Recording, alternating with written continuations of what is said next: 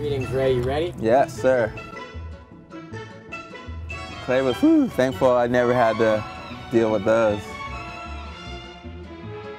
Fun, man. Super exciting and just, you know, just such a new thing, new excitement. Um, Thrasher magazine is a frontside flip. If you're talking about me. Yeah. what year? Oh man, I don't know. I want to say like 90 maybe? I don't know. Uh, Wes Montgomery, along with a million others.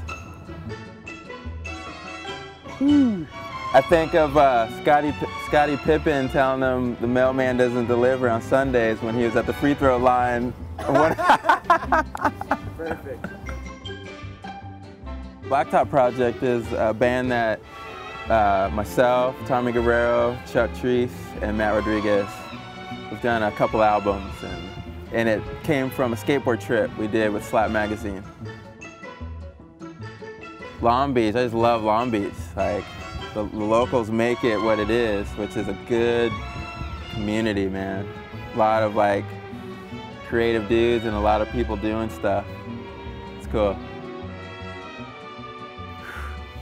Amazing and probably like one of the toughest things I've, I've ever been a part of, you know. Raising a family, but it's awesome. No sleep.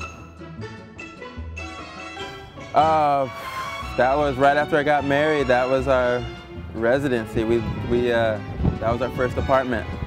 Alley right by the uh, pool, right there, Belmont Pool. Huge inspiration, D Boon, another favorite guitarist. Um, that's where it all got started for me, skateboarding and getting into playing music. It was all from my friends from San Jose. Uh, I'd have to say right now, blocks right now. but it could be because of where I'm at. Maybe if I was in Oregon, it might be a different story. Um, good question. Favorite quote.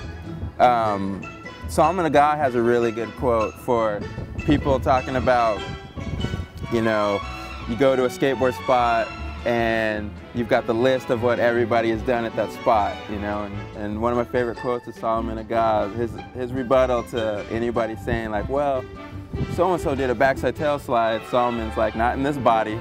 I, know, I dug that quote.